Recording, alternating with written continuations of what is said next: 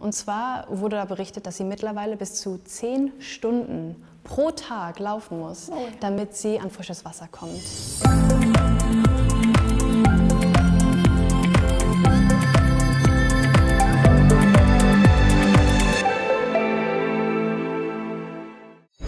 Herzlich willkommen zu einem neuen Video. Heute äh, mit Jelena. Hi. Hi. äh, genau, stell dich gerne einfach mal vor. Ich bin Jelena Schanowski und äh, ich lebe im schönen Ruhrgebiet und ich darf für die Hilfsorganisation Tierfund arbeiten. Das heißt, ähm, du bist dort angestellt und äh, erzähl doch mal, was ist Tierfund?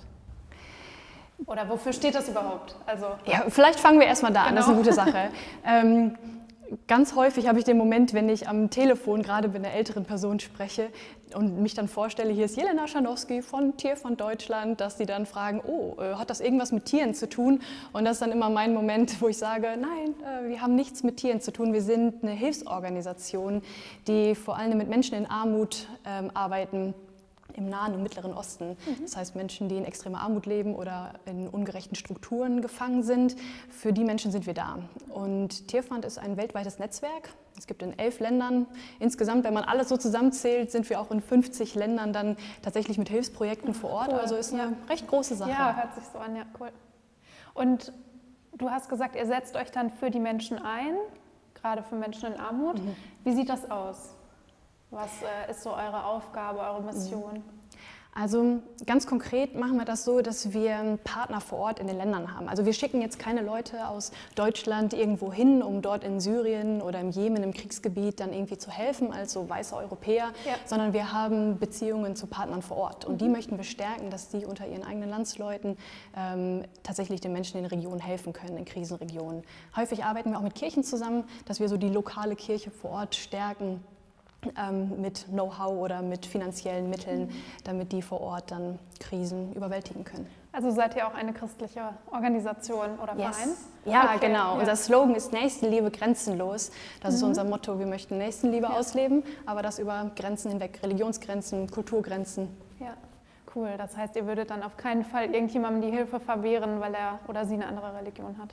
Richtig, genau das würde ich absolut Ja. unterschreiben, Ja. Debbie. Okay, cool. Und ähm, Hilfsprojekte sind dann vor allem humanitär oder was macht ihr da? Wie bekämpft ihr dann mit den Menschen vor Ort zusammen die Armut? Ähm, es gibt so drei verschiedene Stufen, wie man helfen kann. Ähm, die erste Hilfe, das ist so die Nothilfe. Das heißt, irgendwo ist ein Krieg ausgebrochen oder ein großes Erdbeben, wie jetzt in Haiti zum Beispiel. Und es ist komplette Zerstörung. Das heißt, die erste Form der Hilfe ist, dass man tatsächlich hilft, dass Menschen überhaupt erstmal Wasser haben, Essen haben, irgendwie vielleicht wieder ähm, ein Dach über dem Kopf haben. Das ist so die ganz rudimentäre Hilfe. Das machen wir in Ländern wie dem Jemen zum Beispiel. Ähm, so ein zweiter Schritt wäre so dem, der Wiederaufbau.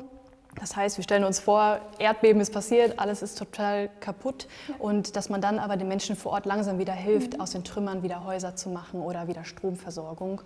Ähm, Und das machen wir so zum Teil.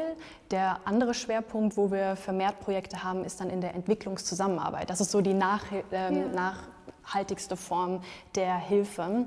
Ähm, Und da arbeitet, langfrist, ar- arbeitet man langfristig mit Menschen vor Ort zusammen, dass sie selber wieder aus ihrer Armut herauskommen können. Da macht man viel Schulungen zum Beispiel. Ähm, ja. Was ist denn dein Job dabei? Also du bist ja hier in Deutschland. Wie Richtig. sieht das dann hier aus? Was machst du da? Ja, es ist so ein bisschen nach dem Motto, tue Gutes und rede darüber. Also ich finde wirklich, dass wir tolle Projekte machen und mich erreichen die Stories von den Menschen vor Ort zutiefst. Aber es ist auch wunderschön, wenn man merken kann, dass man hilft, dass dort wirklich nachhaltige Veränderung einfach sichtbar wird. Und mein Job ist, dass ich hier in Deutschland darüber rede. Ja. Also unsere Projekte natürlich vorstelle, unsere Arbeit, aber auch unseren, unser Herzensanliegen dahinter und auch Menschen gerne natürlich in die Aktion hineinführe oder mit begeistere, motiviere. Da musst du jetzt einmal sagen, wie das aussehen kann. Ja, genau.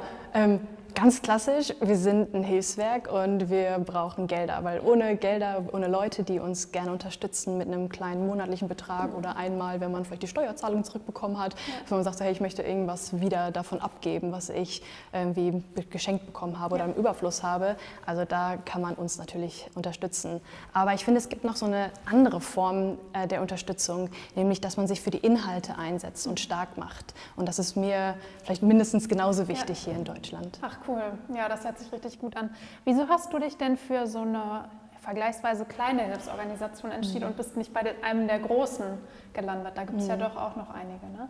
Ja, das stimmt. Also an Tierfand gefällt mir eben genauso diese, diese Mischung gut. Also dass wir einmal diese Hilfsprojekte haben, aber dass uns auch total wichtig ist, auch politisch aktiv zu sein mhm. und hier mit Gemeinden oder mit Christen unterwegs zu sein und uns für Themen wie Armut und Gerechtigkeit einzusetzen. Und das ist, finde ich, schon mal was sehr Besonderes. Und ich finde, bei so einem kleinen Hilfswerk, da fühlt man sich manchmal ein bisschen wie in so einem Start-up. Ja, also, dass man ich, irgendwie vieles aufbauen kann. Und das entspricht, glaube ich, mir als Person sehr. Und das macht tierisch Spaß, mit einem kleinen Team einfach was zu bewegen. Und von daher bin ich total dankbar, da gelandet zu sein. Cool. Also nicht ja. nur sozusagen irgendwie ein Rädchen in so einer großen Mühle, sondern ja. dass du wirklich das Gefühl hast, du kannst viel machen. Und das bewegt dann auch wirklich viel. So, ja, kann ich mir gut vorstellen. Cool. Spannend. Ähm, kannst du mir mal von einem Projekt erzählen, woran du gerade mitarbeitest? Gerne. Ich habe tatsächlich gerade so in den letzten Monaten ein ganz besonderes Thema auf dem Herzen und das hat was äh, mit dem Klimawandel zu tun. Das Projekt heißt Wandern für Wasser. Wofür steht das konkret? Also ich habe an einem Morgen, wo ich in meinem Homeoffice in meinem Büro saß, habe ich ähm, eine Geschichte von einer unserer Frauen gehört, mit denen wir zusammenarbeiten. Und zwar wurde da berichtet, dass sie mittlerweile bis zu zehn Stunden pro Tag laufen muss, oh damit sie an frisches Wasser kommt. Und das einfach, weil die Dürre einfach komplett alles ähm, vernichtet hat, was sie normalerweise auch an Wasserquellen hat. Und allein sich vorzustellen, zehn Stunden pro Tag, da geht so viel ähm, Lebenszeit drauf. Ja, die Kinder müssen sie mhm. teilweise begleiten, können dadurch halt keine Bildung genießen. Das ist so ein großer Rattenschwanz. Und allein auch irgendwie diesen... Ähm, da zu gucken, ich habe ungefähr drei Wasserhähne in meiner Wohnung, wohin ich innerhalb von drei Sekunden hinkomme. Ja. Und andere Menschen in anderen Teilen der Welt müssen so viele Stunden laufen. Und das war für mich ein, okay, das kann nicht sein. Darauf möchte ich aufmerksam machen, mhm. auf diese Ungerechtigkeit. Und daher entstand Wandern für Wasser. Nämlich, dass ich einmal das an einem Tag mache, was Frauen in Ostafrika jeden Tag machen müssen. Ich gehe Wasser holen. Und das heißt, du gehst Wasser holen und mhm. läufst irgendwo hin, zehn Stunden lang? Genau, ich habe mir einen Kanister genommen, so einen ja. Campingkanister, wo ja. äh, richtig viel Liter glaub, Wasser reinpassen. 20 meistens. Ja, genau. Ja, genau. Habe ich nicht geschafft zu tragen, das schon mal vorab, das wäre mir zu schwer gewesen. Aber ähm, ich habe diesen Kanister genommen, ich habe mich auf die Wanderung gemacht. Ähm, ich bin auch nicht allein gegangen, allein hätte es vielleicht nicht ganz so viel Freude gemacht. Ich wurde begleitet und bin äh, die ersten zehn Kilometer mit einem leeren Kanister gelaufen, habe den so vor meinem Bauch getragen und dann mitten auf der Stelle, so als ob es eine Wasserquelle ist, habe ich dann diesen Kanister mit Wasser aufgefüllt und bin dann wieder zehn Kilometer zurückgelaufen mit einem ungefähr 10 Liter Wasser habe ich den vor meinem Bauch geschleppt. Okay. Und der wie, das war schwer. Ja, das glaube ich. Ja, ja. Also ja. nicht nur der Fußweg, ne? das waren dann 20 Kilometer. Ja. Genau. Ähm, ich weiß nicht, wie lange hast du dafür gebraucht? Also warst du zehn Stunden unterwegs? Oder? Ah, ich glaube, wir haben so sechs, sieben gebraucht. Ja. Aber während wir das gemacht haben, haben wir ganz viel bei Social Media darüber gepostet ja, und auch cool. schon im Vorfeld Leute ja. gesagt, so hey, diese Ungerechtigkeit passiert jetzt gerade, mhm. während wir hier irgendwie 2021 in Deutschland sitzen. Ähm, wir haben für Spenden aufgerufen, für aktuelle einfach Wasserprojekte von Tierfund und dann halt die ganze Zeit immer ein bisschen berichtet, mhm. wie es läuft. Ja. Und ab und zu war ich froh, dass ich meinen Kanister auch mal mit meinem Papa teilen konnte, ja. der mitgewandert ist, weil das wirklich schwer war. Ja. Und ja, und eine Sache, die mir dabei auch noch so besonders auf dem Herzen liegt, ist, dass wir immer diese Dimension mit im Hinterkopf haben müssen, dass der Klimawandel auch was mit Menschen macht, die nicht so viel Geld haben. Und das hier auch in Deutschland. Also ich finde, es kann jetzt auch nicht die Lösung sein, dass wir uns jetzt alle ganz teure Produkte bei DM kaufen können, die dann irgendwie plastikfrei mhm. hergestellt worden sind. Weil Stimmt, das können ja. sich halt auch nur gewisse Leute in unserer Gesellschaft leisten. Und da ja, genau. einfach bei sämtlichen Entscheidungen, die Politik trifft oder die ich in meinem Umfeld treffen möchte, dass man auch da da einfach immer wieder im Hinterkopf hat, was macht das mit Menschen in Armut. Mhm. Ähm, ja, so verstehe ich tatsächlich auch irgendwie meinen christlichen Auftrag, dass ich irgendwie immer mitbedenke, was hat das mit Menschen mit Armut zu tun. Auch hier ja. halt, ne? Genau. Ja, ja. genau. Okay. Mhm.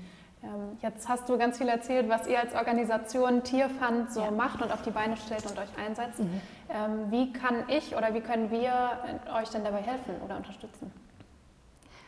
In erster Linie kann man uns helfen, indem man über die Dinge, die wir berichten, indem man die teilt. Also ganz einfach, das Einfachste ist, folge uns bei Instagram. Ja. Einfach, wir berichten von den Frauen, von denen ich dir zum Beispiel ja. gerade berichtet habe. Und es ist wichtig, dass diese Stories halt nicht wie im Kleinen bleiben, sondern dass Menschen darüber erfahren. Freunde und die Freunde darüber hinaus. Das heißt, das ist was ganz Einfaches, äh, was einen auch nichts kostet, dass man das, was wir posten zum Beispiel, einfach liked oder teilt. Also das würde uns jetzt auf jeden Fall schon mal helfen, damit dieses Thema besprochen wird, Klimagerechtigkeit. Und Natürlich kann man auch selber sich auf die Wanderung machen. Das ist irgendwie das Schöne bei dem Wandern für Wasser. Das muss ja nicht nur ich gemacht haben ja, mit stimmt, meinem ja. Kanister, genau. sondern das ist was, was jeder andere auch tun kann. Also man kann sich seine Freunde schnappen, seine Jugendgruppe oder seine Klasse und zu sagen, hey, wir möchten Aufmerksamkeit erregen ja, für dieses Thema, was uns so wichtig ist.